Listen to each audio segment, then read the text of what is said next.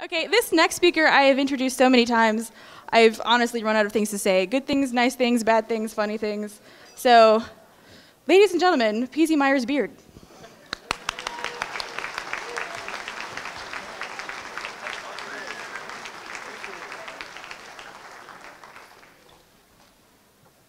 Okay.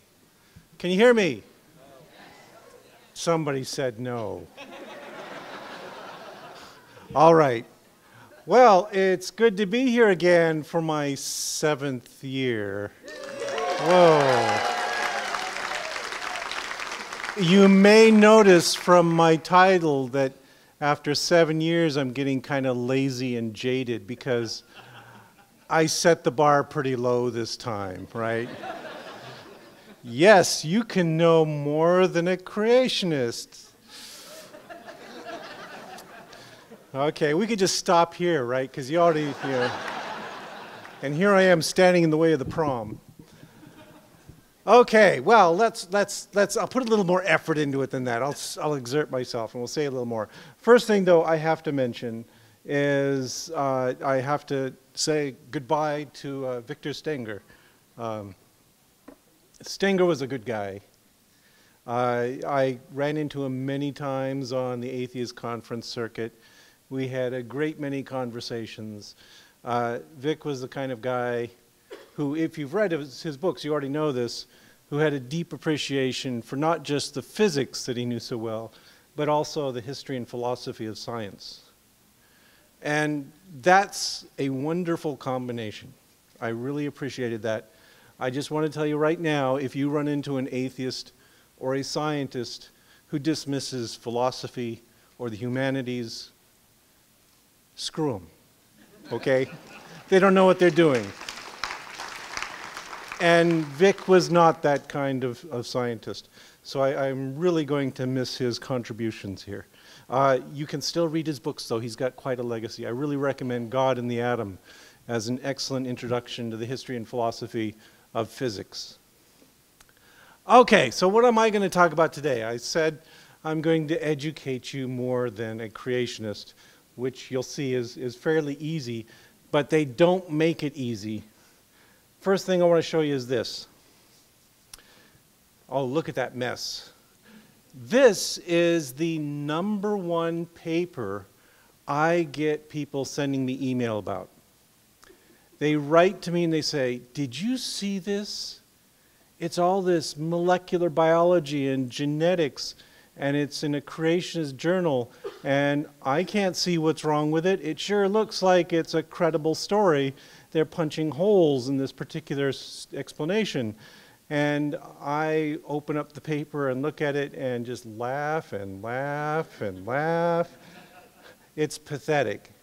And it makes me really aware that there's, there is a problem here, and that there is a kind of specialized knowledge that scientists have that you, many of you at least, blamelessly do not have. And one of the things creationists do that I think is truly despicable is they exploit the loopholes in everyone's knowledge. That what they try to do is sneak things past you with a lot of sciency gobbledygook, and they really disrespect you when they pull this kind of crap. Okay, so anyway, here's this is just one section of the paper. Maybe it's a wall of text. I know it's it's tough to read, but basically it's talking about this one phenomenon. And yeah, they're using all this sciency language. They used a genome viewer software package. They did this search. They analyzed for particular sequences. They found numbers. Ooh, numbers. Must be science. Anyway, this is just a small portion of the whole paper's written uh, in very much in the style of the kinds of science papers I read every day, but it's published in a creationist journal. And it's promoted to lay people all the time. And that's one of the pernicious things about it is it looks really technical and it's not. It's really a bunch of garbage. So what I want to do today is I'm going to lead you through the, some of the bits of this paper and explain to you exactly why it's a load of bullshit. Okay, so what are they looking at? Well, they're looking at a very simple issue, one that's been resolved in molecular biology and genetics for a long, long time, and that is this one. What this is, is an illustration of the full chromosome set from four different great apes. Uh, humans, chimpanzees, gorillas, and orangutans. They're all aligned, they're all nicely aligned. Uh, one of the funny things is that humans have a total of 46 or 23 pairs of chromosomes. All the other apes have 48 chromosomes or 24 pairs. And that baffles some people. How could that be? If we evolved from apes, how come we, did we lose a chromosome? What happened? Uh, no, what happened is that there was a chromosome fusion. If you, it's, I know it's tiny, it's hard to see, and I'll show you a simpler diagram in a moment. If you look at chromosome 2, what you find is that for chromosome 2, we have one pair of chromosomes, whereas chimpanzees, gorillas, and orangutans all have two pairs of chromosomes. And so we think what happened early in human history is that there was a fusion of two primate chromosomes to make one human chromosome. And there's a lot of reasons to think that. Among the reasons to think that is the presence of certain structures inside of chromosome 2 that suggest it was the product of a fusion.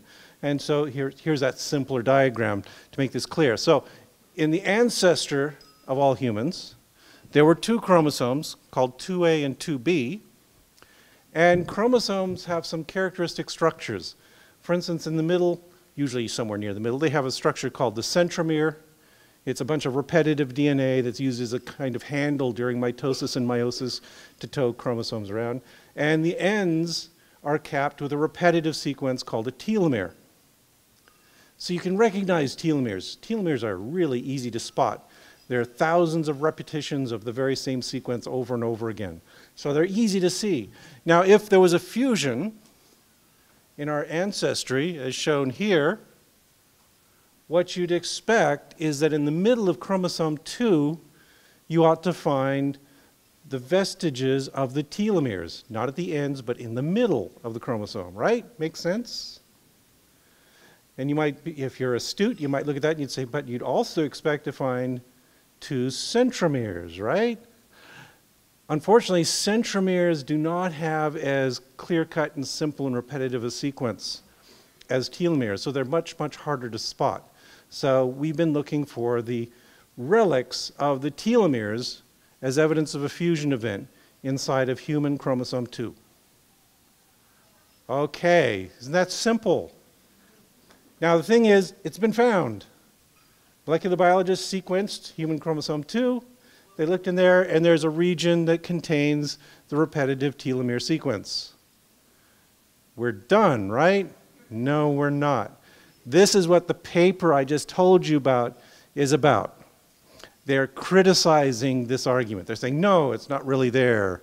They're trying to wave their hands a lot and use a lot of sciencey language and tell you that no, there's no evidence of this fusion. Uh, so what I'm going to talk about today is I'm going to answer three questions for you. So the first question is, where is that fusion telomere? Can we find it? Is it really there? And that's what the paper is talking about. Then I'm going to answer another question that the creationists kind of strangely ignored. You know, you're looking for the fusion in the middle, right? What about the rest of the chromosome? Isn't the rest of the chromosome kind of indicative of a fusion as well? And I'll show you that evidence that it really is too. And then the third question is, all right, let's pretend there was a fusion in some distant human ancestor. So he had 46 chromosomes instead of 48. Doesn't that mean that individual would not be able to mate with any of his other fellow apes, so he'd die out? And no, it doesn't mean that, and I'll explain that too. Okay, so first question, where is that fusion telomere? Here's an illustration of the structure of a chromosome, and as I said earlier, at the very ends of the chromosome, there's this repetitive sequence called the telomere sequence, and it's present as a cap on the ends of all of these. It's got a very characteristic structure. Uh, here's what it looks like. So what happens is at the end of your chromosomes, it actually folds around, kind of like a paper clip, and cross-links to itself, putting a kind of cap there.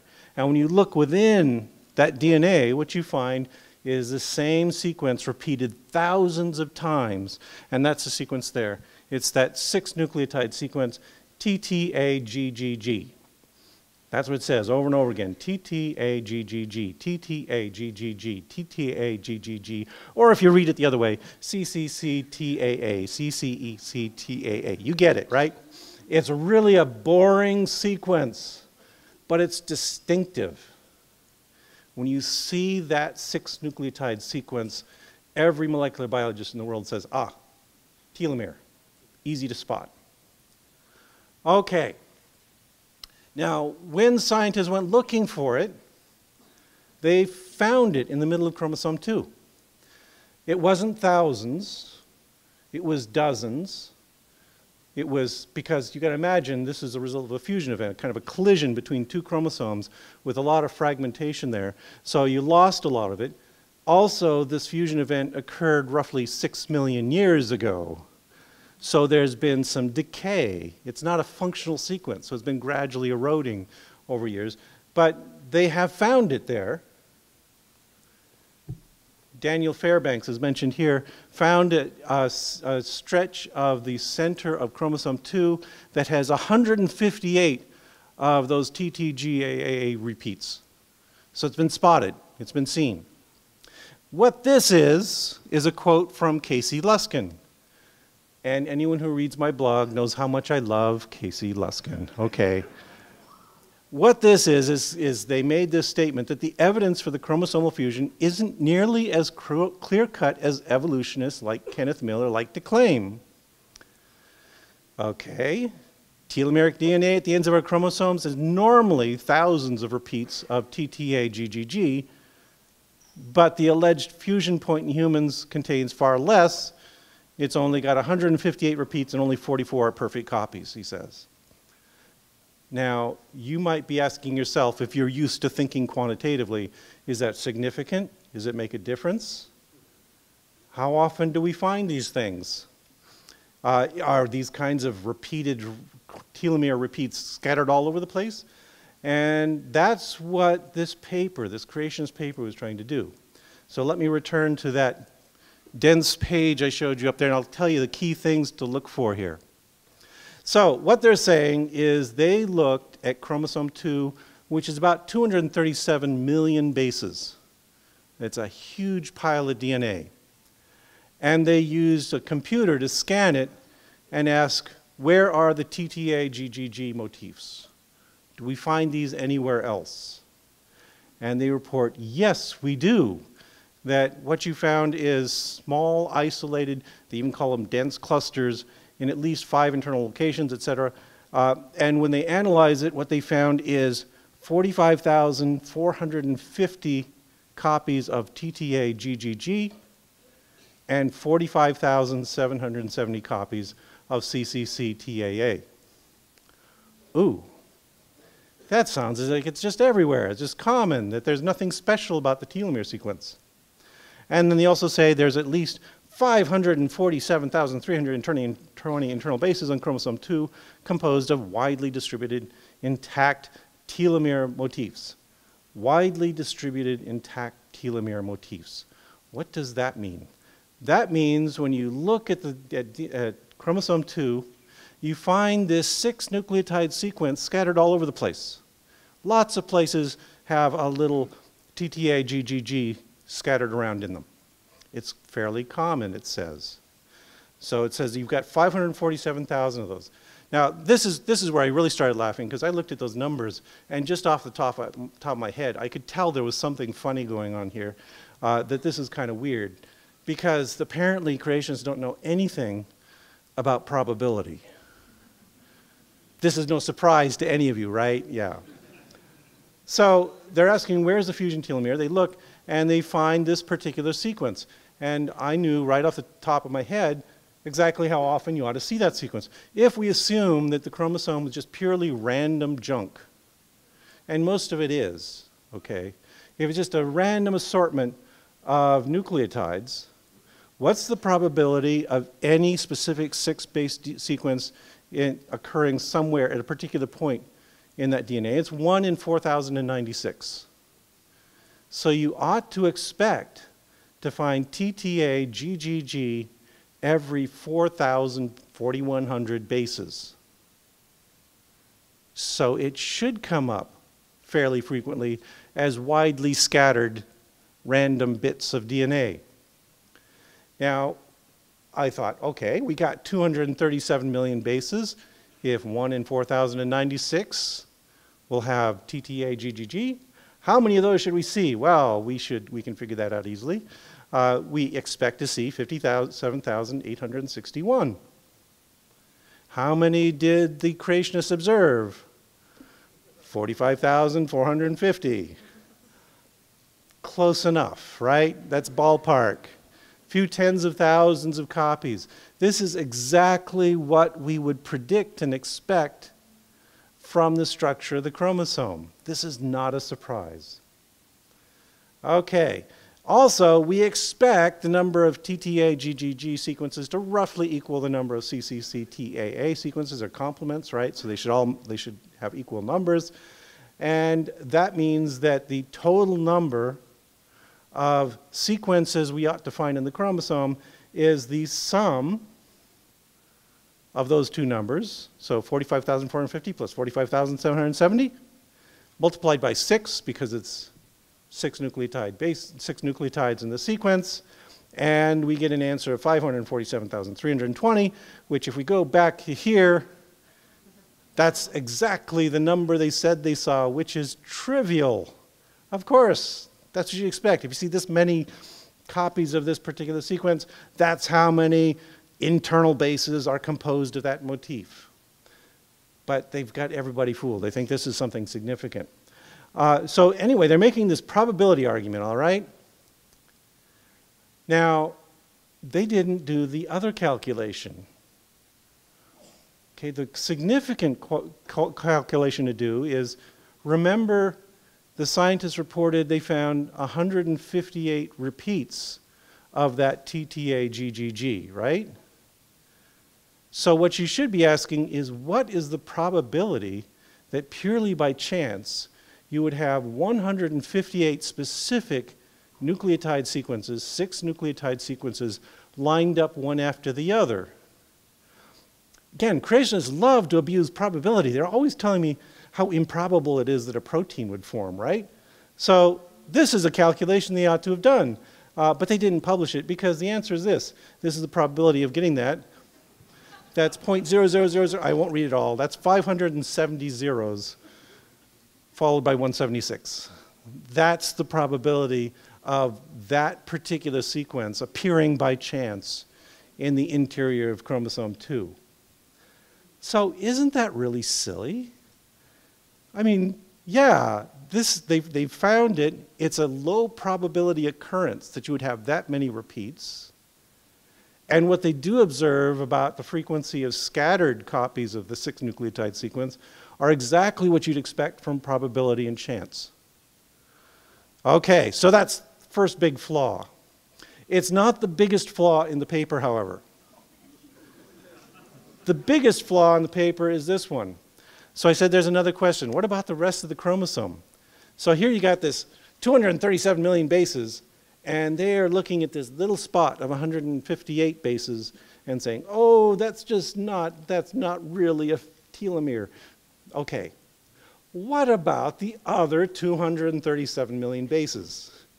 Maybe it would be worthwhile to look at those and see if they're indicative of a fusion event. Okay, in order to explain this, I'm going to, I'm going to have to give you a brief introduction to a nice genetics term called synteny. Okay, what is synteny? Synteny refers to the relationship of genes on a chromosome. And all it means is on same band. So in this little diagram over here, uh, A and B are syntenic because they're on the same chromosome, right? And C and D are syntenic because they're on the same chromosome. But A is not syntenic with C. Got it? It's a really simple concept. Uh, is a lovely word that means on same band, as it says here. And I like it because it's a three syllable word that means exactly the same as three one syllable words. the symmetry is beautiful, and it just tells us something about how scientists think. Okay, so yes, we'll just call this synteny, and nobody will know what we're talking about. Okay, so here we got syntenic genes. We can map them to their locations. Now let's talk about comparing different species. This is where this concept becomes interesting. Just saying that two genes are located in the same chromosome in a human is it's information. It's not particularly interesting information. We can use it in some ways, but it's not real exciting. What's fun is when you say, okay, well, what if we look at another species? Can we see how their genes are arranged on their chromosomes? So here, for example, let's say we've got species X and species Y. So these are two different related species. And we look in their genes and we, and we find that on chromosome 1 in species X, there's gene A and gene B. They're syntenic. On chromosome 2, there's gene C and D. They're syntenic. But when we look in species Y, we find that on chromosome 1, there's A, C, and B, and D is on chromosome 2. Okay, so we've got the same genes, but they seem to be shuffled around in a different order. This happens fairly often. It's, it's so common that scientists have developed a particular common way of representing it that I'll show you now, of showing this relationship between two species. So the, the key is that what you do is you take one of those species and you color their chromosomes, right? Okay. We'll say that species, on species X, we'll color chromosome 1 red. On species, on the chromosome 2, we'll color it blue. It's like paint by number, you'll see. And then what we say is, okay, now what we'll do is we'll look in species Y, and everywhere on the chromosome that has the same sequence as chromosome 1, we paint it red. Everywhere on any of the chromosomes that has the same sequence as chromosome 2, we paint it blue. And so we get something like this. And it becomes instantly obvious what happened in the history of this chromosome, right? You can just look at that and you can say, oh, I know what happened. There was a little shift. It juggled C over to chromosome 1. And you're saying, okay, this is, this is a trivial example. This is so obvious. I'll show you some more complicated examples in a moment. So anyway, we can map things out this way. We just do this kind of paint by numbers operation on lots of chromosomes, looking at lots of sequences, and we get these spectacularly colored images. And furthermore, what we often do is we take a shortcut. So what's illustrated here is those two species, and we designate one as the reference species. So we say, okay, species X is our reference species. So what we do is we just put a key over there. And what it means is we can just leave off the left half of this diagram We'll just show you the right half, and you'll be able to see how the relative arrangements of the genes are in the two species. Okay, have I lost anybody? Fairly straightforward, right? Simple, it's fun, it's colorful. You get it published in a journal, it looks spectacular. Okay, so we've done these kinds of, of synteny mapping with lots of species because it is cool and fun. Uh, so I'll show you uh, chimpanzees right here. So this is a synteny map uh, where they're looking at this, these chromosomes and then they are coloring them by the chimpanzee chromosome number. So what you can see here is wherever it's brown, for instance, that's chimpanzee chromosome 1, and it's colored brown on the human chromosome. What, do you, what should you notice here? If you look at chromosome 1 in humans, it's all brown. There's some spaces in there. That's, that's centromeric and so forth. It's kind of repetitive and it's hard to measure. But anyway, what you see is almost a perfect one for one mapping of all the genes found on chromosome 1 in humans are also found in chromosome 1 in chimpanzees. Yes, your cousin the chimp, you're really closely related. Those, the structure of the chromosomes is very, very similar. Now, this, I, th I think they lost an opportunity here. Uh, in chromosome 2, notice it's all green.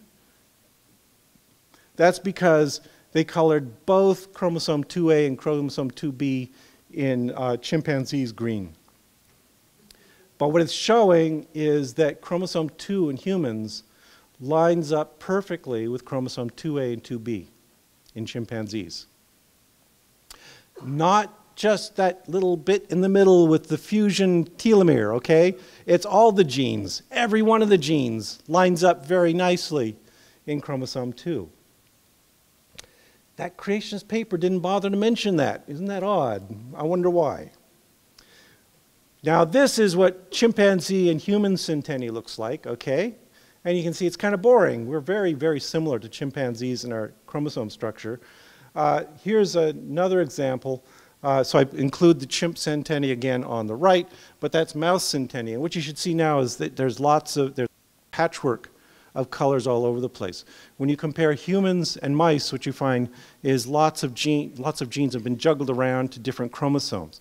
Because mice and humans have been separated for roughly 70 million years or more, while chimps and humans have been separated for about 6 million years. So all kinds of random recombinations have occurred and juggled it around.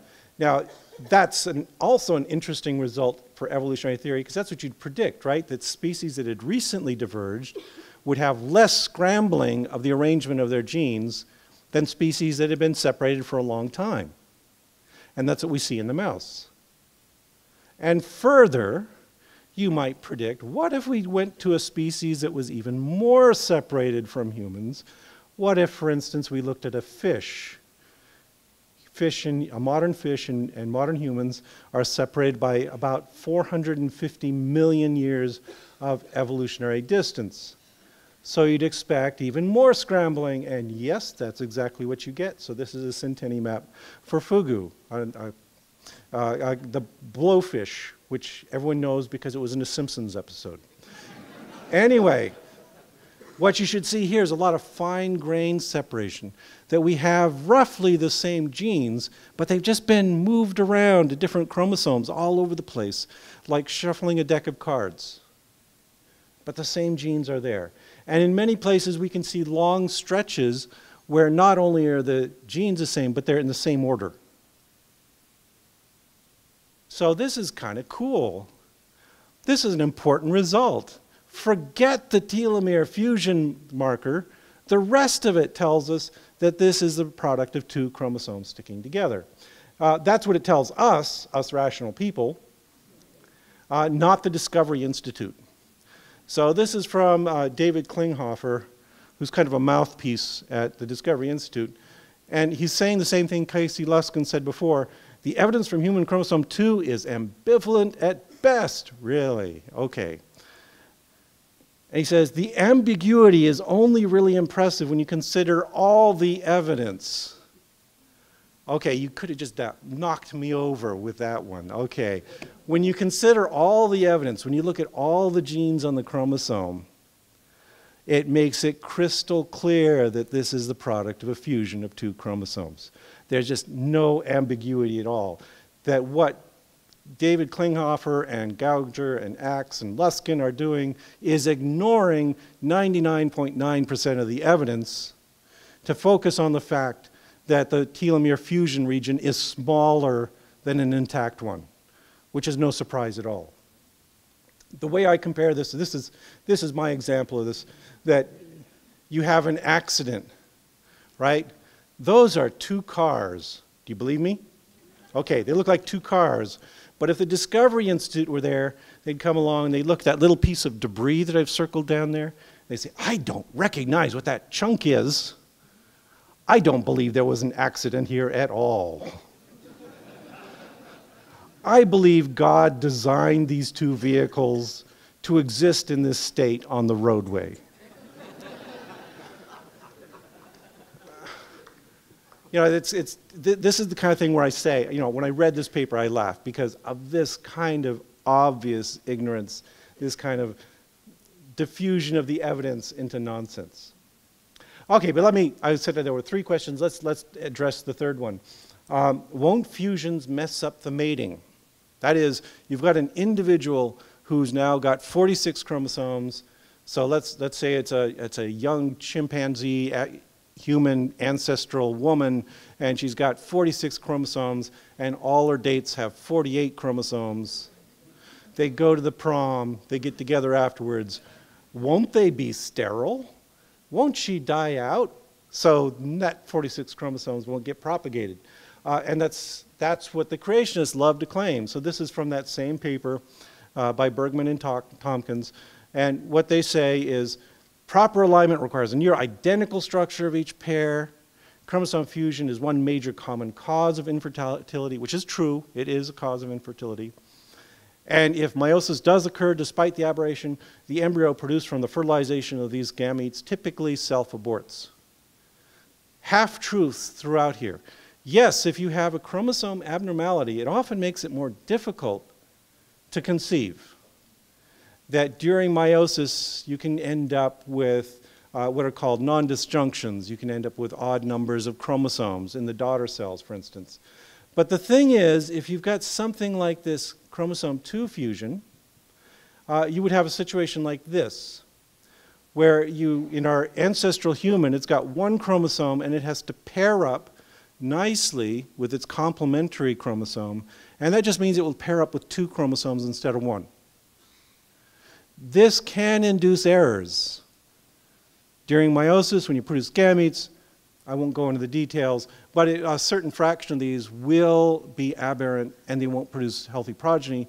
But if it works out so that one, one cell inherits chromosome 2 from the human and the other cell incorporates the two chromosomes from the chimpanzee, it will be perfectly fertile. It will work just fine, 100% of the time. I love to show this example to refute the simple-minded claims of creationists that, that these could not possibly mate.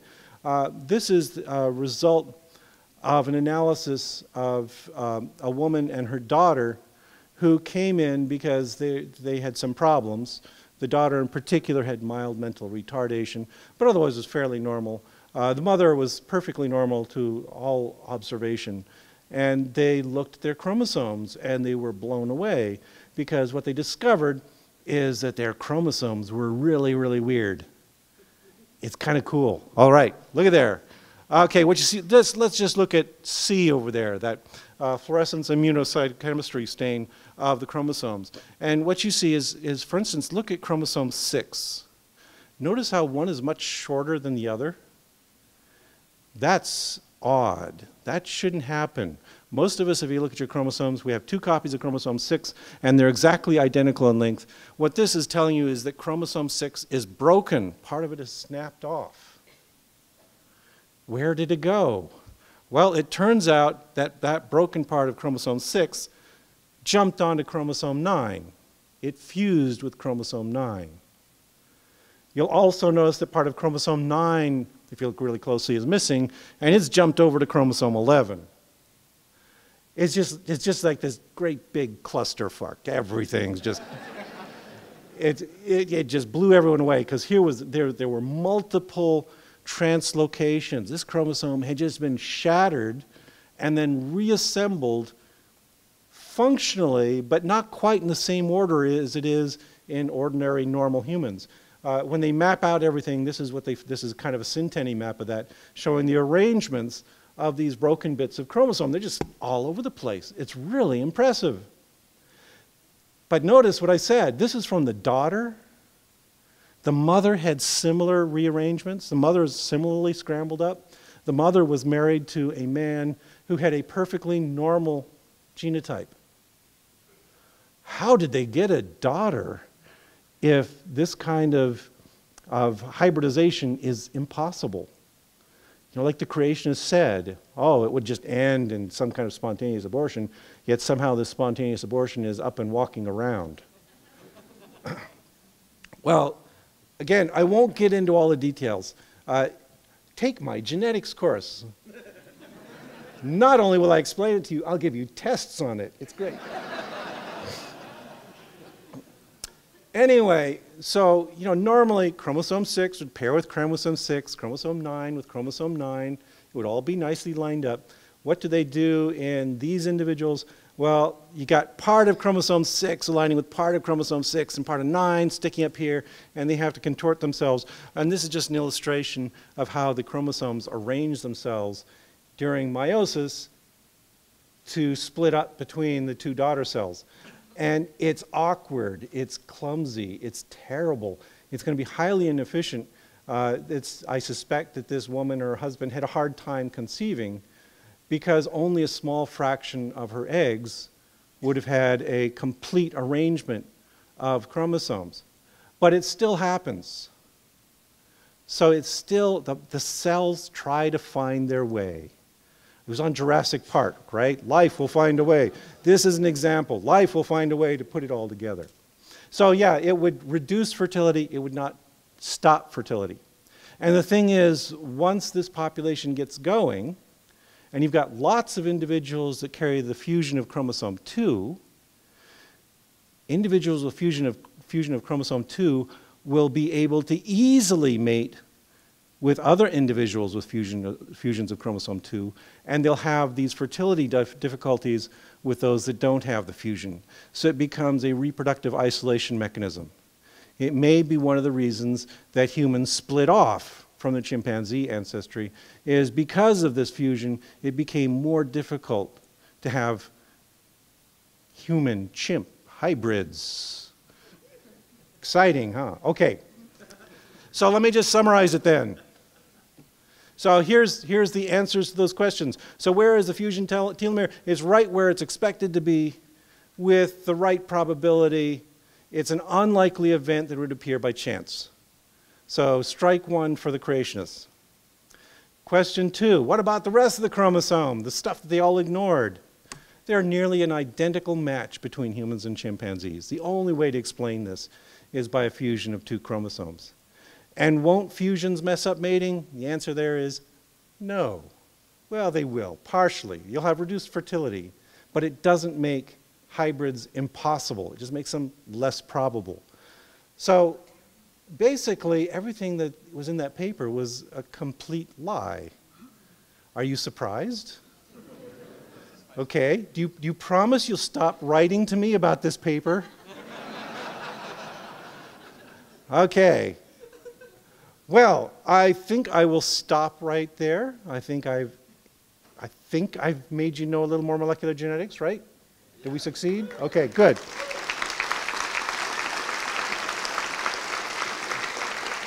Okay, and I know it's, it's not a tradition at, at, at uh, Skepticon to answer questions, although lots of people before me violated that. But I will not. I will not answer questions now, but I'm standing in the way of Dinoprom. I will be at Dinoprom, and since I don't dance, I will sit there at a table and you can bring me things to drink and I will talk to you.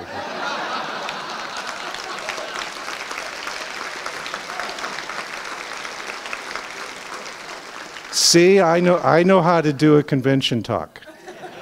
Okay, thank you very much. We'll see you shortly at the prom.